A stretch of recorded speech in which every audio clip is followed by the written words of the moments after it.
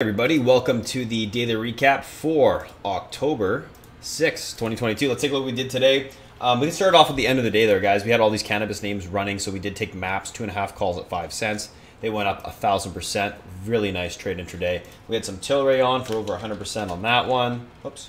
Some uh, GRWG, same thing on that. The uh, four calls for next week, actually. A um, couple other trades that we did intraday.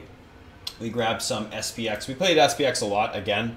Uh, we had some SPX spreads this morning on 38, whoops, 3820 and 38, uh, sorry, yeah, 3820, 3825, 1300%, 3800, 3800s, 3810s for 1233%. We had Adobe 290 calls. We ended up getting out of that overnight at 625% this morning. NVIDIA ended up getting over that overnight 132 calls for 405%. Lilly intraday calls 307%. We had a whole bunch of SPX 100% trades intraday.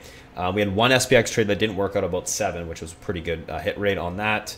Triple M, we had a nice little move at the end of the day there. Uh, we took that for about 30% on the upside. Oxy 30%, XOM 100 calls for 312%.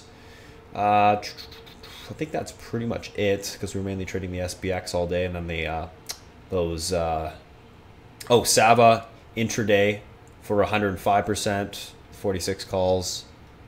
Uh, we tried some uh, um, pins out the gate that didn't work, and that's it on the option side. Equity side, really good stuff. Uh, Tesla, four points to the upside. Sorry, actually seven points to the upside. We traded it twice. SNTI, we got this one really early this morning for two and a half points total. Really good trade. NVIDIA, long two points. BHVN, long for two points. Um, we have that on overnight.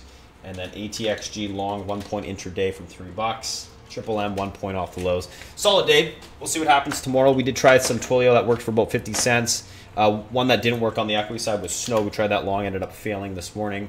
And I think that's really it that didn't work. Uh, we had some small ones like Jay Z. We took off flat, uh, but that's really the only one that didn't work. Um, so all in all, really good day. We'll see what happens tomorrow. It is Lotto Friday. Market is coming in um, in this range into the NFP numbers tomorrow. It's gonna be a busy day in my opinion. We're gonna have some probably some pretty good range. We'll see what happens in that regard. If you guys want to come join us in chat, you can do so. SpartanTrading.com. You can sign up there as well as there's a free Discord link in the bio in the description of this video. Thanks for watching, guys. Have a good one, and I will talk to you later tomorrow.